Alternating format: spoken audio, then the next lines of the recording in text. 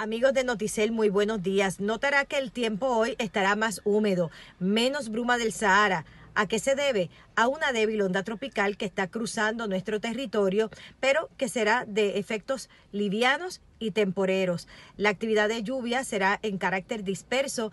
Los aguaceros serán un poco más numerosos en horas de la tarde para sectores del área metropolitana, áreas del noroeste de Puerto Rico, menos en la zona sur. Ya para mañana se habrá establecido una nueva zona de polvo del Sahara que estará afectando nuestra calidad de aire, deteriorándolo. Aquellos de ustedes que son alérgicos o que padezcan de asma, pues sepan que a partir del viernes vamos a estar con este tiempo brumoso, por lo menos hasta el domingo. La semana que viene, los modelos dan los indicios de que vamos a tener aire más húmedo, la presencia de una vaguada y tal vez pues no tengamos tanto polvo del Sahara, puesto que vamos a tener entonces aire con humedad y entonces también actividad de lluvia.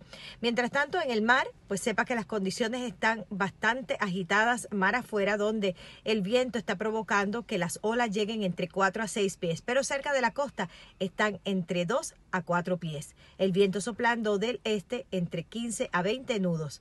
Las condiciones del mar se mantendrán de esta forma por lo menos hasta el fin de semana. Para Noticel, este es su meteoróloga Ada Monzón.